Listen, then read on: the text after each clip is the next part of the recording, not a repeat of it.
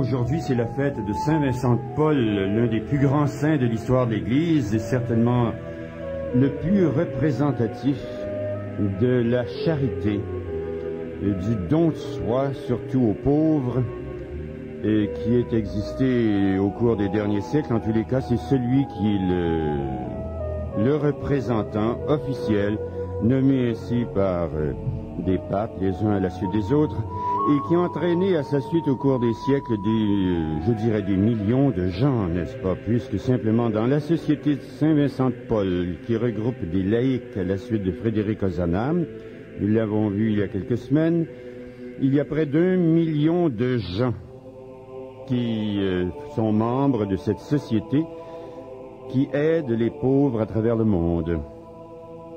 Au microphone, Raymond Beaugrand-Champagne. C'est aussi la fête aujourd'hui de 17 bienheureux martyrs irlandais qui euh, sont nés au XVIe siècle et qui sont décédés entre 1579 et 1654. Ils ont été béatifiés assez récemment à Rome le 27 septembre 1992.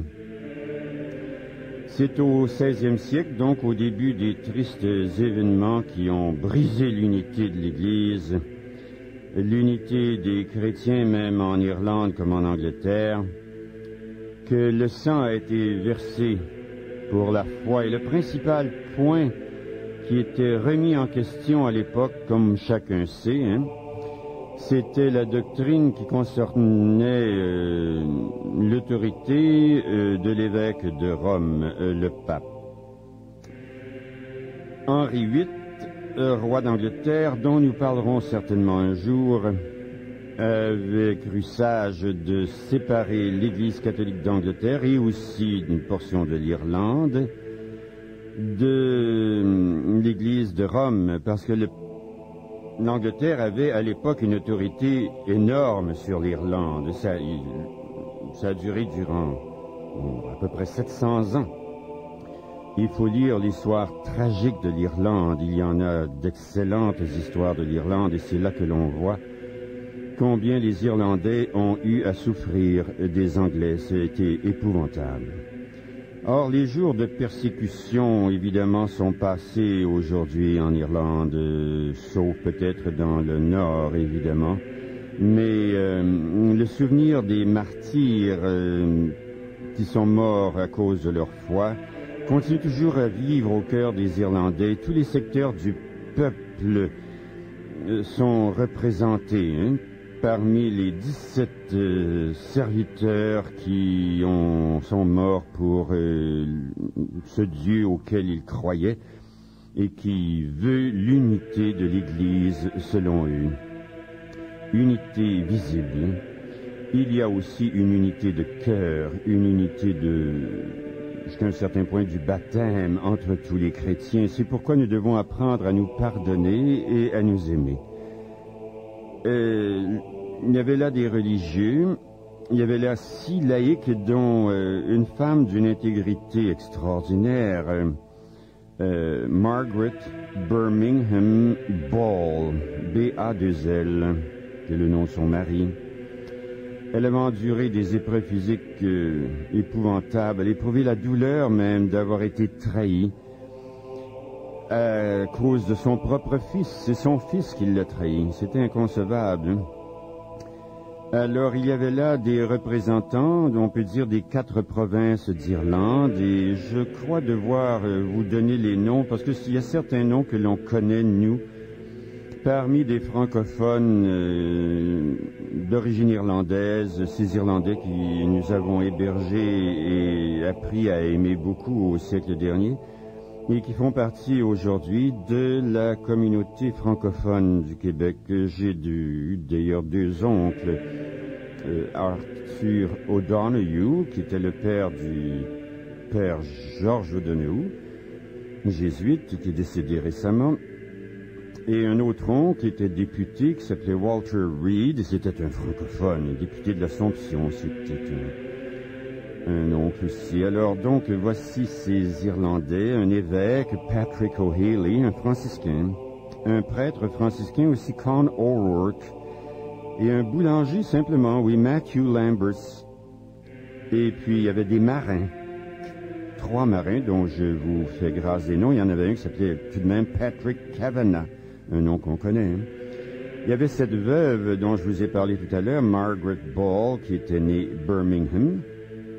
Et puis, il y avait aussi un archevêque, Dermot O'Hurley, un prêtre, un jésuite, euh, frère convert, Dominic Collins, un autre évêque franciscain, euh, un prêtre, un marchand aussi, un marchand Francis Taylor, et puis euh, deux dominicains, dont un évêque, Terence Albert O'Brien. Et O'Brien, il y avait Oscar O'Brien, qui était francophone, n'est-ce pas, qui est devenu bénédictin à Saint-Benoît-du-Lac. Il y avait aussi un franciscain prêtre et un augustin, William Terry. pendant cette période, l'Église catholique a dû lutter évidemment contre des forces politiques qui voulaient établir et consolider comme je vous le disais tout à l'heure, le pouvoir protestant de l'Angleterre en Irlande. C'est venu à la suite de l'excommunication d'Élisabeth Ier par le pape Pie V, Saint Pie V, en 1570. C'est ça qui avait déchaîné les persécutions, surtout à l'encontre des archevêques, des évêques et des prêtres, mais aussi de nombreux laïcs. Ça a engendré un climat d'incertitude et de peur par toute l'Irlande. Donc ces euh, bienheureux-là, les 17, ont été béatifiés le 27 septembre, il y a trois ans, en 1992. Je vous parle maintenant donc de Saint Vincent de Paul. Saint Vincent de Paul, on le connaît bien par un tableau que tout le monde a vu. C'est un tableau de Simon François de Tours, qui a été peint en 1660 surtout, du moins été signé en cette année-là et elle est à la maison mère des Lazaristes que Saint-Vincent de Paul a fondée. Vous savez qu'il y a un Lazariste à Montréal qui a plus de 80 ans, le père Radnac, Francis Radnac, qui est à la paroisse Saint-Clément. Et alors donc, ce tableau que l'on connaît bien, c'est assez pittoresque. Vincent de Paul était très humble, reconnu pour sa grande humilité. Hein. Vous savez qu'il disait de lui des choses absolument étonnantes il faut euh, lire ses déclarations à son propre sujet qui euh, dépassent presque tout entendement. Il disait de lui-même qu'il était au fond qu'un porcher, euh, qu'un gardien de, cochon. Mais c'est ce qu'il avait fait dans son jeune âge pendant des années.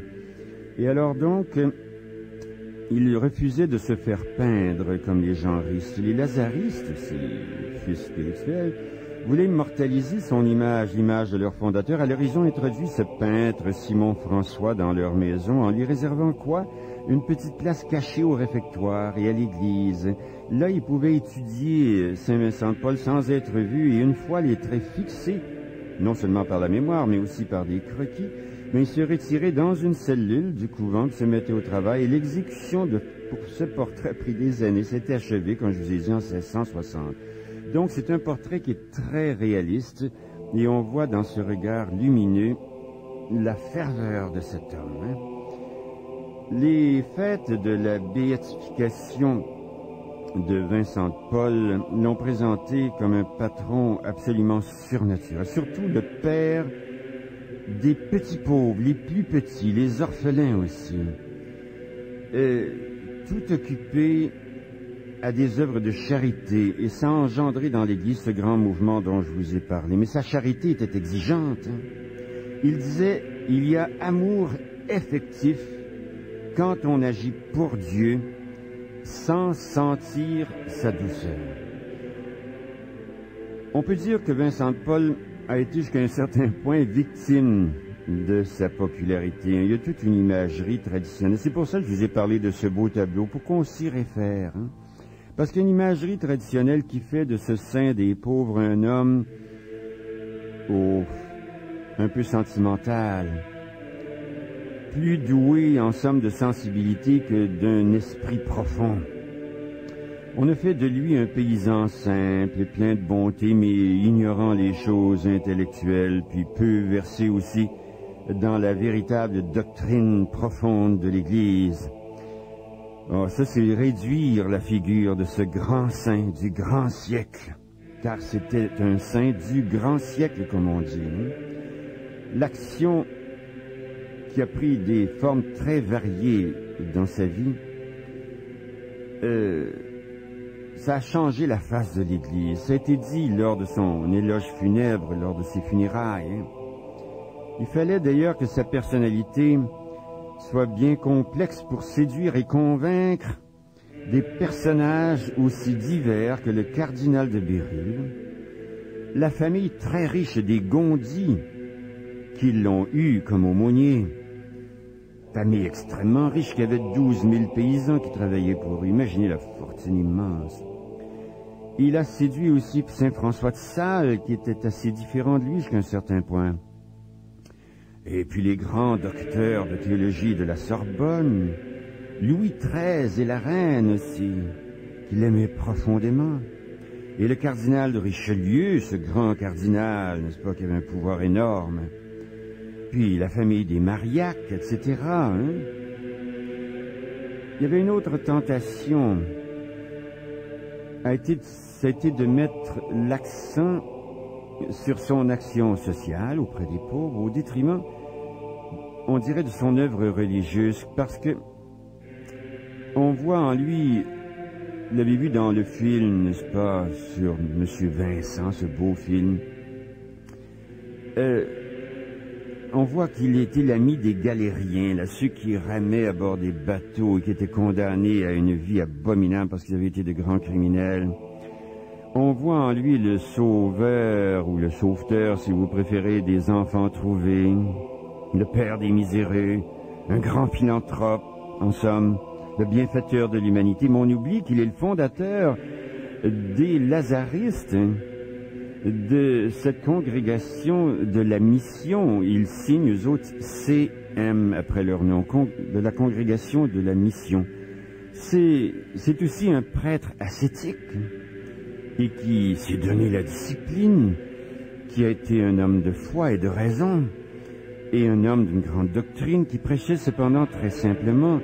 Monsieur Vincent de Paul est resté extrêmement discret sur son itinéraire intérieur, sur sa foi profonde. Il déclare lui-même qu'il n'est pas un mystique. Pourtant, sa spiritualité est très riche. C'est une spiritualité pratique, simple, une spiritualité qui est orientée vers l'action. Il insiste beaucoup là-dessus. Rien ne sert de se dire des belles choses spirituelles si on ne pratique pas vraiment dans l'action les choses qu'on enseigne et auxquelles on croit. C'est bien beau d'aller à la messe tous les jours, de réciter son chapelet, d'avoir une grande dévotion à la Sainte Vierge, de s'intéresser à toutes les apparitions, aux miracles, à toutes sortes de choses, de courir ici, courir là, et si on ne s'occupe pas des pauvres, et si on ne s'occupe pas des gens malheureux autour de nous, à quoi ça sert hein? À quoi ça sert? Mais il a laissé quand même 15 volumes de sermons, de lettres et d'entretiens. Il faut dire qu'il a écrit d'innombrables lettres. Hein. Ça a été recueilli, publié après sa mort. Hein. Et on peut lire ces choses-là, mais on peut en lire certains extraits. J'ai d'ailleurs le goût de vous lire tout de suite quelque chose où il dit qu'il faut aimer Dieu au dépens de nos bras. Voici ce que Saint Vincent de Paul dit. Aie mon Dieu, mes frères, mes sœurs, aie mon Dieu, mais que ce soit au dépens de nos bras, que ce soit la sueur de nos visages, car bien souvent, tant d'actes d'amour de Dieu, de complaisance, de bienveillance et autres semblables affections et pratiques intérieures d'un cœur tendre quoique très bonne et très désirable, sont néanmoins très suspectes quand on s'en en vient point à la pratique de l'amour effectif. En cela, dit notre Seigneur, mon Père est glorifié que vous rapportiez beaucoup de fruits. Et c'est à quoi, continue Saint Vincent de Paul, nous devons bien prendre garde car il y en a plusieurs qui, pour avoir l'extérieur bien composé, puis l'intérieur rempli de grands sentiments de Dieu, s'arrêtent à cela. Et quand on vient au fait et qu'ils se trouvent dans les occasions d'agir, ils demeurent courts. Ils se flattent de leur imagination échauffée. Ils se contentent des doux entretiens qu'ils ont avec Dieu dans leur raison. Ils en parlent même comme des anges. Mais au sortir de là, est-il question de travailler pour Dieu, de souffrir, de se mortifier, d'instruire les pauvres, d'aller chercher la brebis égarée, d'aimer qu'il leur manque quelque chose, d'agréer les maladies ou quelque autre disgrâce? Hélas, il n'y a plus personne. Le courage leur manque. Non, non, ne nous trompons point. Totum opus nostrum in operatione consistit. Une conférence qu'il avait fait auprès de la mission. Ce petit texte latin à la fin, je le traduirai. Toute notre œuvre consiste dans l'action.